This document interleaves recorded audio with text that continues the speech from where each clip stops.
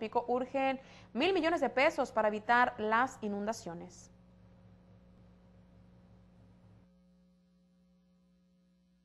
se encuentran detenidos proyectos hidráulicos del Instituto Metropolitano de Planeación por falta de recursos en el orden de los mil millones de pesos para poderlos concretar. Son 17 obras que ya están contempladas para estar disminuyendo los riesgos de inundación en esta parte de la comuna, pero no hay fecha para su realización, reconoció Jaime Organista Barba. Se han realizado cerca de 30 proyectos en el IMEPLAN, de los cuales un promedio de 13 ya han sido ejecutados, por lo que el resto requiere una inversión señalada que prácticamente se encuentra en el proceso de las gestiones correspondientes. Se ha tocado puerta de la Comisión Nacional del Agua, Petróleos Mexicanos de la mano con el gobierno del estado, sin que hasta el momento se haya logrado algo concreto. Lo más caro que son los túneles subterráneos que requieren en Ejército Mexicano y en la colonia Martoc, obras que no se contemplan realizar a corto plazo. Son proyectos muy caros, cada túnel en Tampico cuesta cerca de 200 millones de pesos. Por ejemplo, hablamos de Martoc, y Ejército Mexicano, dijo el funcionario estatal. De este monto, lo más próximo a realizarse son dos paquetes por el orden de una inversión de los 380 millones de pesos para infraestructuras de nombre Tampico Morelos,